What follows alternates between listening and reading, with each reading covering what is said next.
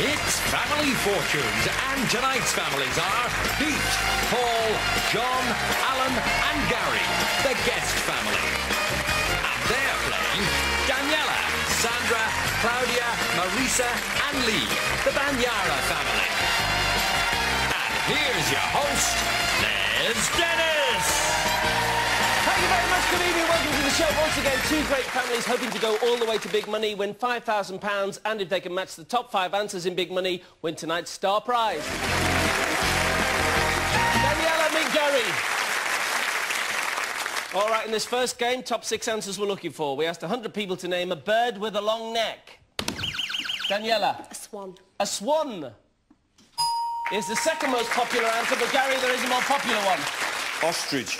An ostrich. It's the top answer. Well played. Check with your family.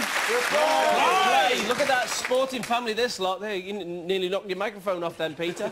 All right, the guests, um, no conferring, and the Bagnaras think of some answers in case you get a chance to steal later on. Hi, Alan. All right, Liz. You're a bit accident prone. I'm very accident prone, Liz, yeah. When I was when I was 14, I got shot In the bum. in the in the muscle of my leg, Les. Not my foot. You know, today he said in the buttock. then tonight he comes out and goes in the bum. and what else? Uh, and when I've, I've been drove for the brewery for 25 years, but I have a lot of accidents with the wagon. I got the wagon stuck under a bridge. I reversed and knocked a 40-foot wall down. And, that is all right. and then I went to help my son and knock a a RSJ out in his house, and we took the next door neighbours out at the same time. So it's the truth You're as well. kidding me, Yeah. honestly. At the top of my jaw, I swallowed my false teeth, and it was stuck in my throat. Didn't stop you talking, no, Alan. It's all true. All right, Alan, what do you think? A bird with a long neck? Uh, duck. A duck. what? No. We lose a life on that. John, are you as accident prone as he is? no, no. Well, I have a few. Have I had a few accidents? Yeah. Yeah, you got bitten by a dog, didn't you? That's right. I was doing door to door on the beer, and one day I dropped the beer off, and the dog came out and bit me.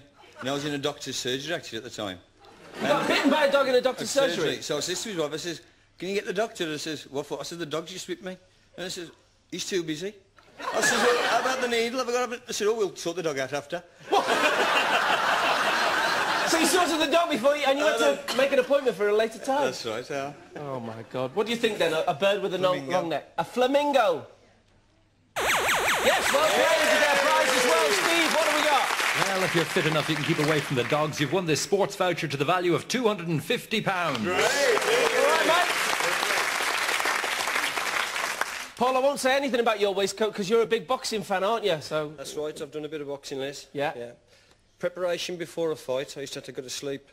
But the one fight, slept that much. When I woke up, it had all finished. I fancy that. All right, what do you think? A bird with a long neck?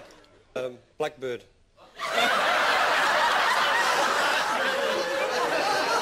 I'm going to risk saying it. If it's up there, I'll give you the money myself. A blackbird. Two lives have gone. The Bagnaras might get a chance to steal. How, Peter? You're a boxer as well. I am, Les. Certainly am. I've uh, boxed a few weights. Well, five actually. You actually boxed at what? Super heavyweight. Super heavyweight, heavyweight, light heavyweight. But come on, you, you, you can't have been super heavyweight. How, It depends when, I went- when I went on the beer or not. so how much did you weigh when you were super heavyweight? 18 and 18 and a half stone. 18 and a half They used to call me sumo. Yeah? And oh, so you got down, how did you get down, your weight down? Well, I was in the army as well, training the boxing in the army as well. See? See what happens, Peter? What do you think? A bird with a long neck? A goose. A goose! Three lives have gone, so the Bagnaras get a chance to steal Lee. Naomi Campbell. That's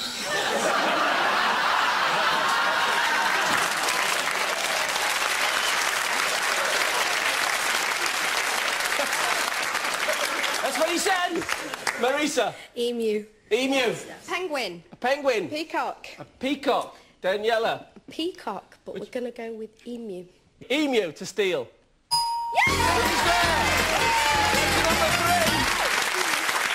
Naomi Campbell. And the missing answers on a bird with a long neck. S- Number six. A heron. And answer number five on a bird with a long neck is... A crane. Right, let's play on round two. Alan. Top six answers in this second game. We asked 100 people to name the first thing you soap up in the shower. Alan. You're making up your own jokes now. Soap suds. You soap up the soap suds. The soap suds. It isn't there, Alan. Fancy that. Sandra, Your face? your face. Let's have a look for your face. Yes, it's there. You have control. Check with your family. Play! Play, rejoin your family. No conferring on this. So, Claudia, you're married? Sore point! Sore point. What? Anybody out there who'll have her? Oh, you're not? In an Italian family by my age, I should be well settled, married, children, everything. But you're not yet. And I get a lot of stick, a lot of earache. Very big shelf. Especially from Dad. From your dad? Yes. Hello, Dad. I'm not getting married. Yeah. what, you do an impression of him. How does he speak? Oh, what does he say about well, you? getting when, I, when I go in the house, I say, hi, hi, Mum, hi, Dad. And he goes, hi, have you found a man yet? Yeah? What do you say? Mañana. That's it, Les. Manana. All right, Claudia, what do you think? The first thing you soap up in the shower? Legs. All right, Claudia, we're looking for legs. Yes, it's the fifth most popular. We get a prize as well. Steve! Yes, and no children to mess around with the remote control. You've won this 25-inch colour television. Yeah! Marisa, you're married to him and he comes out with these things about Naomi Campbell. I know, it must be wishful thinking. I can't understand why. What she got that I haven't. You've got something that she hasn't. Yeah. Too much pasta, Les. Too much pasta. No, this is the second his, um, oh, his. I'm not sure whether it's him or. What, you don't know whether it is? Brilliant. What, what happened uh, about the car story? We used to live in Swindon and my pride and joy is a Nissan Cherry, which we still have, and um, it was being damaged regularly so we decided to keep watch with some of our neighbours and one night we caught the uh, the criminal as it were yeah. Lee went round the back, the neighbours and I went round the front, and we were that excited at managing to catch him. We had, we had them re- ready, and the police arrived, and I was shouting that much, was that excited. Lee was trying to calm me down. As he went to calm me down, the police handcuffed him, thinking that he was the one that had done all the damage. And during this, the guy's just walking quietly up the street, disappearing. You got nicked for your own car. That's right, yes. I think the baby's due now, isn't it, Marisa? After the end of that story. What do you think? The first thing you soap up in the shower? Your head. Your head. Hair, we accept. Forehead. Well played. All right, Lee. Very well, thank you, lads. You went for a pedicure. What happened then? Before I got uh, married, uh, my wife insisted on me going for a pedicure. so there I was. I was went into Scholes in Manchester. Uh, that was before it was bombed. Why did she insist on you having a pedicure? Something wrong with your feet and your toes? I toes? think so. I think that's a Very hint. smelly, It was a very hit, yes. smelly. So there we were, and I walked up into the uh, the cubicle, and the lady there said to me, "Could you take your hosiery off?"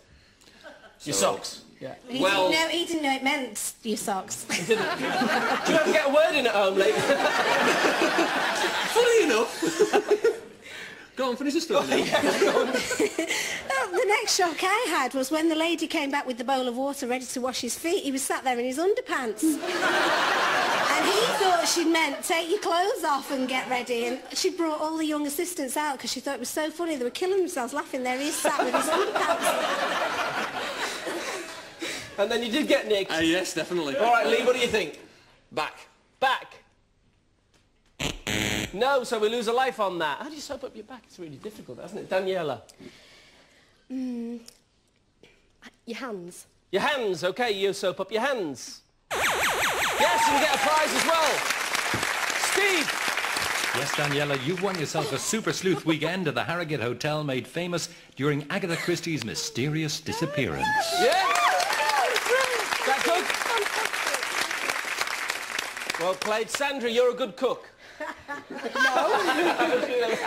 Marisa, The joke is I don't cook. you don't cook. No. She won't cook. Can't cook, won't cook. No. All right, then. Sandra, what do you think? The sponge. You soap up the sponge. yes, well played. Another prize coming your way. Steve! Well done, Sandra. You've won a health spa two-day break for two located in a stately home at Hoar Cross in the heart of rural Staffordshire. Oh. How's that? You don't have to do any cooking there. They do everything for you. They pamper you, they look after you. You'll have a brilliant time. All right. Claudia, what do you think? Ears. Behind Do the ears. All right, you soap up behind your ears to begin with. Two lives have gone, the guests might steal. Marissa, Your feet. your feet. You want him to do it with his feet. Let's have a look. your feet. Three lives have gone, so the guests a chance to steal. Peter. You naughty bits. You naughty what it is? Your arm, your armpits, this. Your armpits, Des. This, Les. Your arm, you can't even remember my name. Your armpits, okay, Paul. Knees. John. Knees. Knees. Back of the neck. Back of the neck, Alan. we get the teeth out. Gary. Feet, feet, I'd say, but I'm going to go with uh, armpits. All right, armpits. If it is one of the missing, or the only missing answer, you have the money in the bank. Armpits. Well the £76. There are no answers to reveal as we play round three. How do you meet John? Top six answers. We asked 100 people to name a sport where players do not wear a number. Claudia. Golf. Golf. Yes, but there are four more popular ones, John. Cricket. Cricket, they hardly ever score a number in our country. We're looking for cricket. Yes, it's there. Second most popular. Rejoin, no conferring. Paul. Rugby. Rugby. Let's have a look for rugby. They wear a number in that, don't they? Peter. It's got to be boxing. Boxing. It's got to be boxing. Good answer, but not there. So two lives have gone. The Bagnaras already might get a chance to steal. There are four answers to find and only one life left. Gary. Waistcoats, snooker. Waistcoats, snooker. yes, well played. And you get a prize as well, Steve. Yeah, no room for a snooker table, I'm afraid. You've won a week's narrowboat holiday for four on the scenic Midlands waterways. How's that? Up the Midlands waterways. Up the up the up the cut. Up the cut. Alan, what do you think? Tennis. Tennis. Good answer. It's a top answer. Well played. Two answers to find, John. A swimmer doesn't wear a number. Yes, it's there, but there's one answer to find, Paul. Can you find it? Hockey. Hockey, if it's there, you have the money in the bank. Hockey. Three lives have gone. The Bagnaras get a chance to steal once again. Lee. Golf. Golf we've already had. Snooker. Snooker we've already had. Fishing. Fishing. Skiing. Skiing. Daniela. Fishing. All right, if fishing is the missing answer, you have the money in the bank. If not, it goes to the guest. To steal, fishing.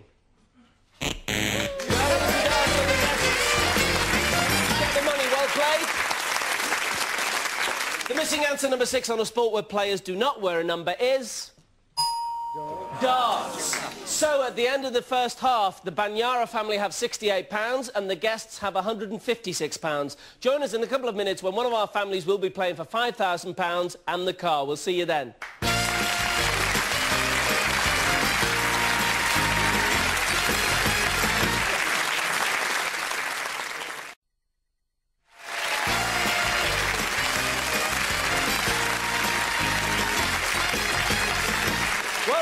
So who'll be playing for the £5,000 and the car? Will it be the Bagnaras from Manchester, who have a 25-inch TV, a sleuth weekend, a two-day health break and £68? Or will it be the guests from Dudley in West Midlands, who have a £250 sports voucher, a week on a narrow boat and £156? Let's see now as we play double money. Okay, Marisa, everything all right? Meet Paul. Hi, Double money, all the answers revealed are worth twice the price they were before the break. Top five answers. We asked 100 people to name another word for married. Marisa. Skeet. Together. Together. We want to be together. No, it isn't there, Paul. Wed. Wed. It's there, so you have control. Check with your family. Play, rejoin, no conferring the guests. The Bagnaras think of some answers. So what do you think, Peter? Stitched. I itched. Itched. itched. It's the top answer. Well played. Gary. Stitched. what do you think? Hooked up. Hooked up. Hooked is answer number five. Well played, Alan.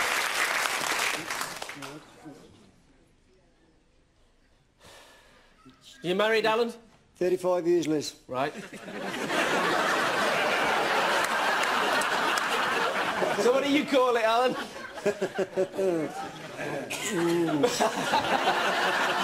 what do you think? What do I think? An- another word for married. We've lost a life on it. John. Five kids. Oh, ring. Just the one. Tell us what you think. Uh. Up the chute. Up the chute, she'll get married Pregnant. now. That's the reason for being wed. That's the reason for being wed, he says. Up, up the chute. No, so we lose a life. The Bagnaras might steal. Paul.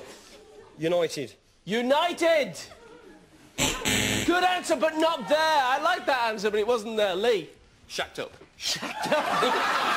Marisa. Joined. Joined. Claudia. Living over the brush. Living over the brush. Is that married? It is Sandra? for me. It was for you. Couple. Coupled. Daniela. Betrothed. Betrothed. Is that married? What are you, go- what are you going to go with? We're going to go with betrothed. Betrothed. If it is there, you're still in the game. If not, the guests go through to big money. We're looking for betrothed. No, it's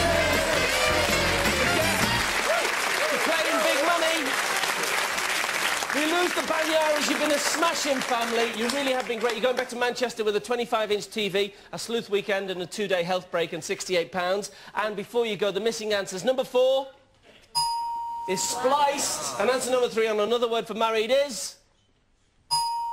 Shackled. All right, they were great. The Bagnaras. Congratulations, Gary. Who's playing big money? Myself and brother Paul. Gary and Paul, join me at the mic, please.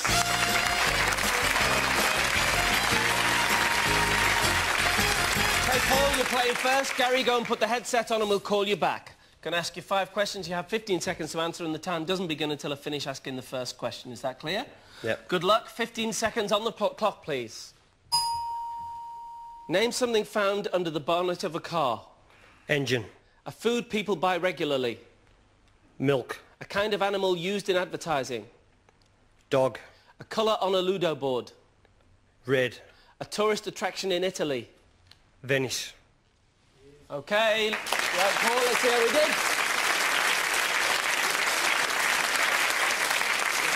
First of all, I asked you to name something found under the bonnet of a car. You said an engine, our survey said. Top answer, 36, good start. Food people buy regularly. You said milk, our survey said. Four people, only four people said milk. A kind of animal used in advertising. You said a dog, our survey said. 33, two top answers, 73 scored. A colour on a Ludo board, you said. Red, our survey said. Another top answer. Finally, a tourist attraction in Italy. You said Venice, that's a city rather than an attraction. Let's see, you said Venice, our survey said. Nothing for Venice. We got 103. Well scored. Rejoin the family. We'll clear the board and bring Gary back. Paul scored 103, so you're going to find 97 points. And if you do that and get 200 points, you then will have the £5,000 and the five top answers will get you the car as well. The same five questions and 20 seconds to answer. If you duplicate any of the answers, you'll hear this sound and I'll ask you for another. Can we remind the viewers at home of the answers we've had from Paul? And can I have 20 seconds on the clock, please? Good luck. Name something found under the bonnet of a car. Engine. Another. Carburetor. A food people buy regularly. Bread. A kind of animal used in advertising. Cat. A colour on a Ludo board. Black. A tourist attraction in Italy. Pisa. Leontana Pisa. Whoa, well played.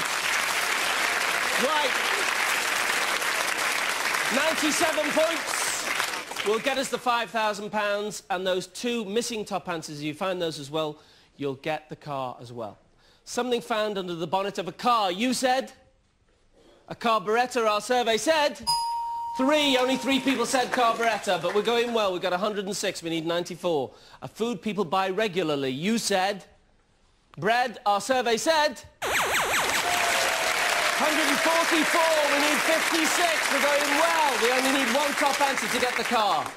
A kind of animal used in advertising. You said cat. Our survey said 24. We need 32. A colour on a Ludo board. You said black. Our survey said nothing for black. We still need 32 points. And we need this to flash and to be worth more than 32 or at least 32 points to win the car and the £5,000. A tourist attraction in Italy. You said the Leaning Tower of Pisa. 32 points. What do you mean it's pathetic? No, it's good. Vatican. No. Vatican. Oh, is that that's your? Well, let's see. You said Pisa. Our survey said. Yeah!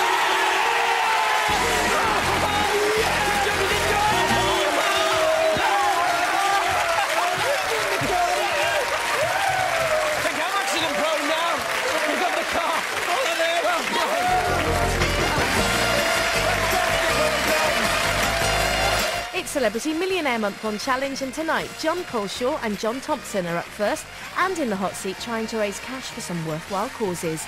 That's tonight and all this week on Challenge at 9.